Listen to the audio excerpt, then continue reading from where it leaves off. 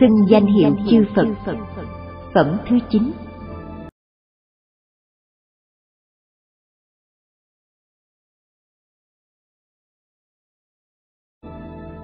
Lúc đó, Ngài Địa Tạng Bồ Tát bạch cùng Đức Phật rằng Bạch Đức Thế Tôn, nay con vì chúng sinh trong đời sau mà phô bày sự lợi ích, làm cho trong dòng sinh tử đặng nhiều lợi ích lớn. Cuối xin Đức Thế Tôn cho phép con nói đó.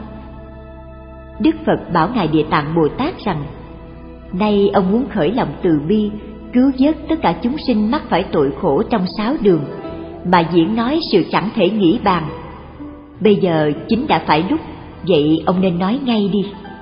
Giả sử ông có thể sớm làm xong nguyện đó, ta giàu có vào niết bàn, cũng không còn phải lo ngại gì đến tất cả chúng sinh ở hiện tại và vị lai nữa. Ngài Địa Tạng bạch cùng Đức Phật rằng, Bạch Đức Thế Tôn, vô lượng vô số kiếp về thuở quá khứ, có Đức Phật ra đời hiệu là vô biên thân Như Lai. Như có người nam người nữ nào nghe danh hiệu của Đức Phật đây mà tạm thời sinh lòng cung kính, liền đặng siêu diệt tội nặng sinh tử trong bốn mươi kiếp. Huống là vẽ đáp hình tượng cúng dường tán thán. Người này được vô lượng vô biên phước lợi. Lại hằng hà xa kiếp về thuở quá khứ, có Đức Phật ra đời hiệu là Bửu Thắng Như Lai. Như có người nam người nữ nào được nghe danh hiệu của Đức Phật đây phát tâm quy y với Phật trong khoảng khảy móng tay, người này chọn hẳn không còn thối chuyển nơi đạo vô thượng chính giác. Lại về thuở quá khứ, có Đức Phật ra đời hiệu là Ba Đầu Ma Thắng Như Lai. Như có người nam người nữ nào nghe đến danh hiệu của Đức Phật đây thoát qua lỗ tai, người này sẽ được một nghìn lần sinh lên sáu tầng trời cõi dục, huống nữa là chí tâm xưng niệm. Lại bất khả thuyết bất khả thuyết vô số kiếp về thuở quá khứ có đức phật ra đời hiệu là sư tử hống như lai.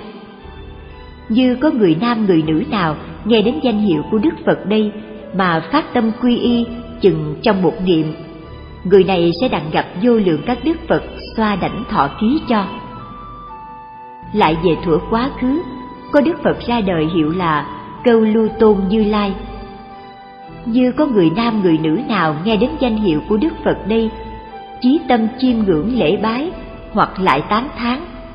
Người này nơi pháp hội của một nghìn Đức Phật trong hiền kiếp làm vị đại phạm dương, đặng Phật thọ ký đạo vô thượng cho. Lại về thuở quá khứ, có Đức Phật ra đời hiệu là Tỳ Bà Thi Như Lai. Như có người nam người nữ nào được nghe danh hiệu của Đức Phật đây thời mãi không còn sa đọa vào chốn ác đạo, được sinh vào chốn trời người, hưởng lấy sự vui thù thắng di diệu. Lại vô lượng vô số hàng hà xa kiếp về thuở quá khứ, có Đức Phật ra đời hiệu là Đa Bửu Như Lai. Như có người nam người nữ nào nghe đến danh hiệu của Đức Phật đây, liền khỏi đọa vào ác đạo, thường ở tại cung trời hưởng sự vui thù thắng di diệu. Lại về thuở quá khứ có đức phật ra đời hiệu là bửu tướng như lai. Như có người nam người nữ nào nghe đến danh hiệu của đức phật đây sinh lòng cung kính. Không bao lâu người ấy sẽ đặng quả a la hán lại vô lượng vô số kiếp về thuở quá khứ có đức phật ra đời hiệu là ca sa tràng như lai như có người nam người nữ nào nghe đến danh hiệu của đức phật đây thời người này sẽ siêu thoát tội sinh tử trong một trăm đại kiếp. Lại về thuở quá khứ, có Đức Phật ra đời hiệu là Đại Thông Sơn Dương Như Lai. Như có người nam người nữ nào nghe đến danh hiệu của Đức Phật đây, thời người này đặng gặp hàng hà chư Phật nói nhiều pháp màu cho, đều đặng thành đạo Bồ Đề.